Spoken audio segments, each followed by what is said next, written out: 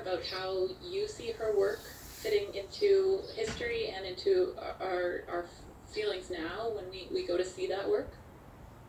Yeah, I think it's this idea of kind of um, like this encounter with the natural world that that somehow is, is about the, the like wonders of nature, um, but it's often sort of this kind of uh,